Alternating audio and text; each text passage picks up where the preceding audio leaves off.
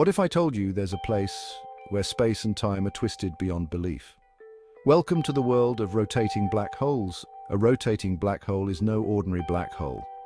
When a spinning star collapses, it forms a black hole that bulges at the equator due to centripetal force. Uh, Picture a cosmic ballet. Uh, um, but that's just the beginning. Surrounding this whirling giant is a mysterious zone called the ergosphere.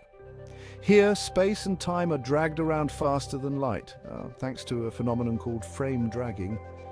It's like a cosmic merry-go-round you can't get off. Inside the ergosphere, standing still is impossible. You're in a race with the universe itself. But there's a twist. Objects might escape from the ergosphere, but they can never stay put. So, next time you gaze at the stars, remember, out there some black holes are spinning, bending reality and revealing the universe's wildest secrets. Stay curious, freethinkers. That's it for today. Subscribe for more awe-inspiring cosmic wonders. Catch you in the next orbit.